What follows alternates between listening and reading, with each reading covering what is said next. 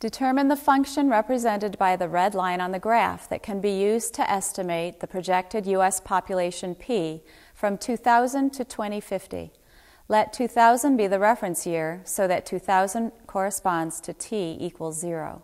These are the ordered pairs we can read from the graph, where 0 is the year 2000 and 50 is the year 2050, and these are the values for p of t. In order to find the function, we first need the slope. We'll have m equals y sub 2 minus y sub 1 over x sub 2 minus x sub 1. And if we say 419.854 minus 274.634, those are the y values, or p of t, and in the denominator will be the difference between the x values or the t values for this graph. This will give us a slope of 2.8 9044. Now for the equation, we'll still be able to use y minus y1 equals m times the quantity x minus x1 with the understanding that y1 is going to be our p of t and x1 will be our t value.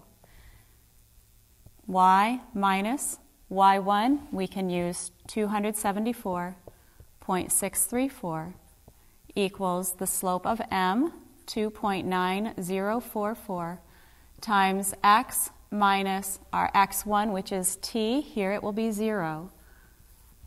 Now we know 2.9044 times x, and 2.9044 times 0, that's just going to give us a value of 0. So we'll be able to add this 274.634 to the right, giving us y equals 2.9044x plus 274.634.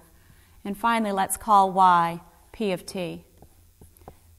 2.9044 times t, because t is our values for 0 and 50, plus 274.634.